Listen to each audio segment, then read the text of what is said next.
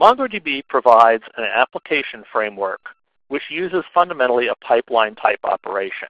We're probably familiar with those. For example, Unix, or for that matter MS Windows, provides pipe operations.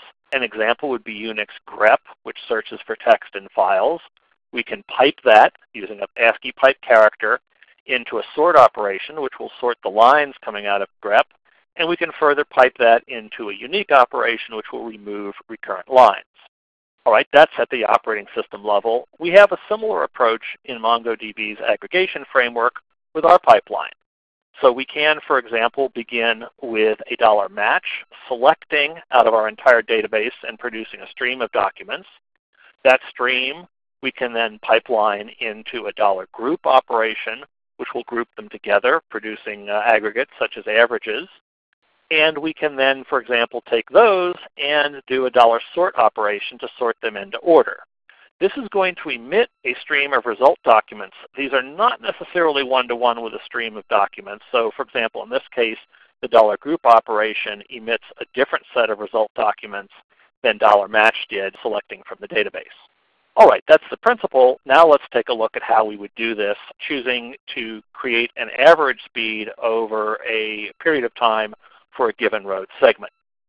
We'll begin with the aggregate command in MongoDB. That's db.collectionname.aggregate, and this will work on the current database, which has elsewhere been selected in the MongoDB API. We now begin with our selection. This is that regular expression selection that we talked about. So we're going to select on primary ID for segment ID 20484097. This is going to bring back everything for that segment ID.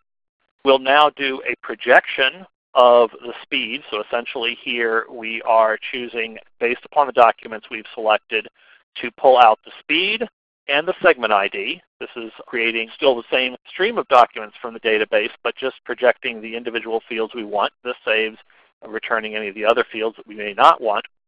Then an unwind operation which loops over the data points, these individual minutes within our document, be it uh, hour, minute, or whatever. And then finally, a group operation. This is going to create the output stream of documents, the primary ID of these being the segment ID on which we selected in the first place, and the average being produced then over these unwound data fields. So net of all this, we are going to produce a document like you see in the very bottom after the semicolon with primary ID equal to the segment and average equal to the average speed for that segment over the range for which we've selected.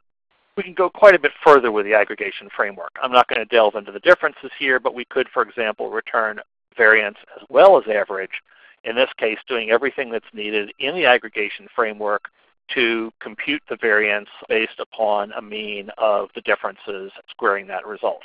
So all of these advanced features are available in the aggregation framework because it is a pipeline. It wouldn't necessarily need to just be the average.